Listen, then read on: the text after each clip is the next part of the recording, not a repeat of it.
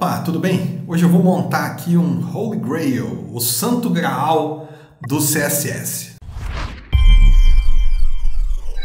Quando a gente começou a construir layouts com CSS, abandonou as tabelas, lá no final de 98, começo de 99, né? o pessoal começou a ver o que era possível fazer usando CSS. E o layout básico, assim, que todo mundo queria construir, era o famoso layout de três colunas com cabeçalho e rodapé. É um layout super comum, todo mundo já teve que fazer um desse, né? E na época esse era um negócio tão buscado e era tão complexo fazer, o CSS estava só começando e tal, que a galera deu o apelido para isso aí de Holy Grail, o Santo Graal. Né? Se você conseguisse fazer o Santo Graal, quer dizer que você conseguia fazer qualquer coisa e tal.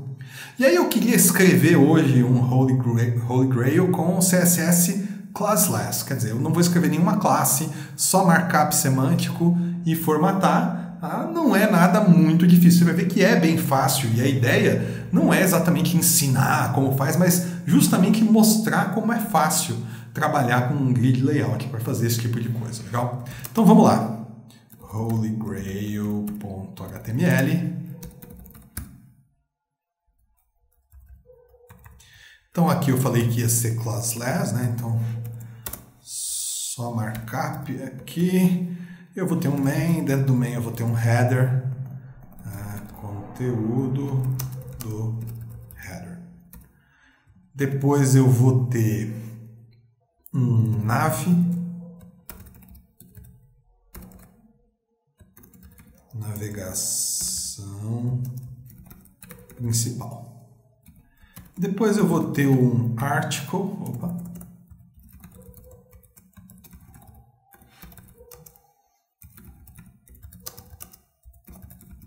conteúdo principal da página, depois um aside e por fim um footer.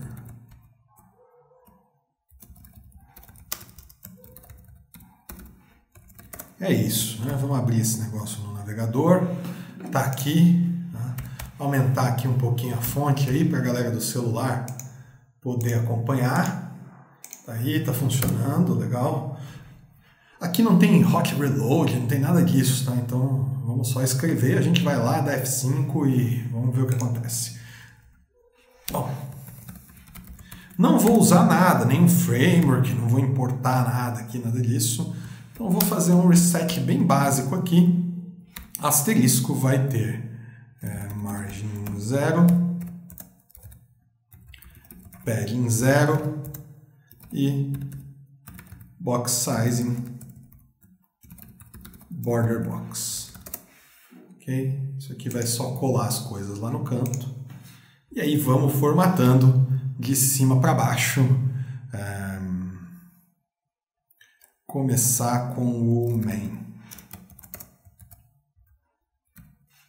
O main vai ter max width de 960 pixels. Por quê? Porque sim, tá? Pode pôr o tanto que você quiser aí.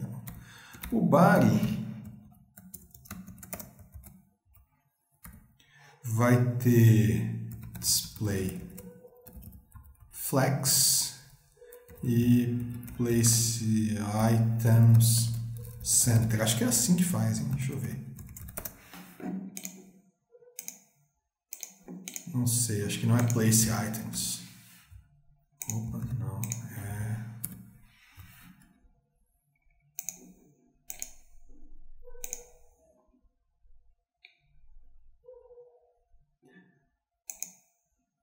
Ah, acho que é isso mesmo. A questão é que esse main aqui. Não, não é.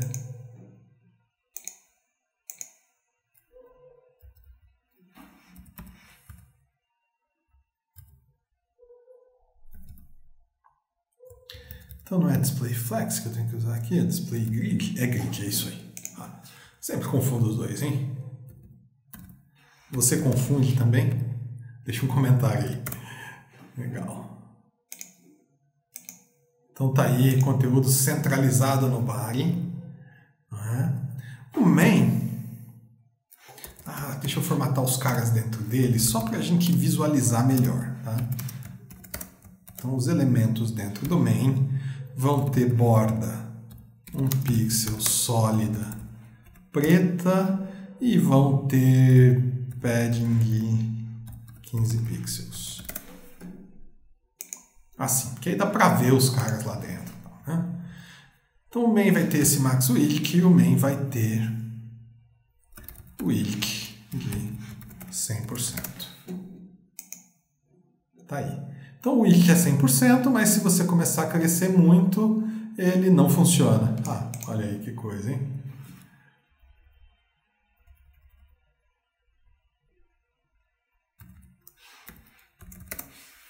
Não funciona ou sou eu que estou dando zoom demais, né? É, segue zoom. Pode crer. Então vai sem zoom aqui nessa janelinha, pessoal. Ah, você já leu o conteúdo, você já sabe o que tem lá. Muito bem. Agora aqui o main ele vai ter um display grid. E ele vai ter grid template columns, colunas. Então vão ser três colunas. A primeira coluna vai ter um min-max de 150 pixels, então a largura mínima dela vai ser 150 pixels e a largura máxima vai ser uma fração. A coluna do meio vai ter três frações e a última coluna vai ter 200 pixels e uma fração.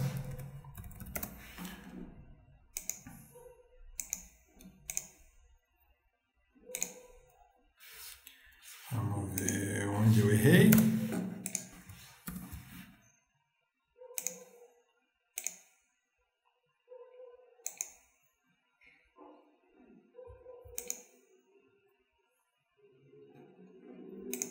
Ah, tá.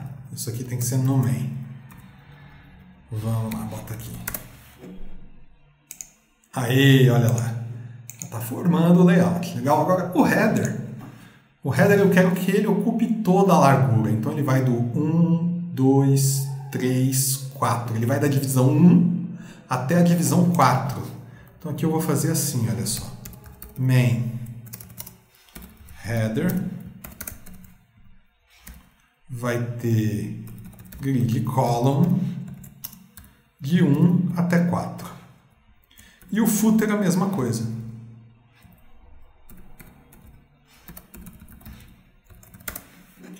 Vou recarregar aqui. E tá lá, olha só, o header lá em cima, as três colunas aqui, o footer aqui embaixo, legal? Também posso fazer o seguinte, olha só. No body, ah, não, nem preciso, aqui ó, no main, eu vou colocar uma altura mínima de 100 VH. Tá aqui. Então ele ocupa a altura toda. Tá? Se o conteúdo for maior, como isso aqui é uma altura mínima, ele pode crescer e pode ter rolagem, não tem problema nenhum. Tá? Mas se não tiver rolagem, o rodapé vai ficar lá embaixo, o header vai ficar aqui em cima. Só que eu queria definir tamanho para eles. Né? Então aqui eu, tenho, eu defini já as larguras das colunas, agora eu tenho que definir a altura das linhas. Então a gente vai fazer assim, olha só. Grid, template, rows, as linhas vão ter 120 pixels, uma fração 120 pixels. Vou recarregar e tá lá, tá feito, responsivo.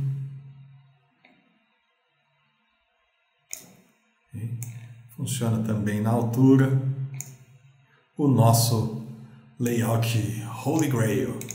Aí vocês viram aqui que o meu markup ficou super simples, não tenho divs alinhados, não preciso de div dentro de div, nada disso.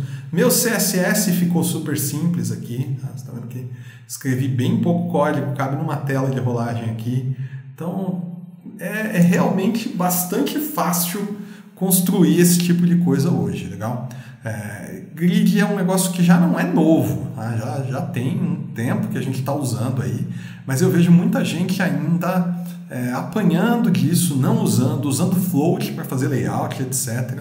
Ou usando grid, mas sem entender direito como as propriedades funcionam, misturando grid e flexbox. Né? Então, dá uma estudada aí, cara. Se você, né? Vale a pena, vale muito a pena. Vai ser muito produtivo. Então, principalmente grid, tá? Flexbox dá para fazer mais coisa do que grid. Flexbox dá para fazer umas coisas muito, muito legais que com grid você não consegue. Só que 90% do tempo você faz layout que resolve com grid. E grid é muito mais fácil de aplicar. Tem muito menos regra, faz isso aqui que você está vendo ó, de um jeito muito simples. Então começa por grid, estuda grid primeiro, você vai ser feliz estudando grid, legal? É isso aí. Deixa seu comentário aí, diz o que você achou, tá? Isso é ouro pra gente, por favor. Valeu!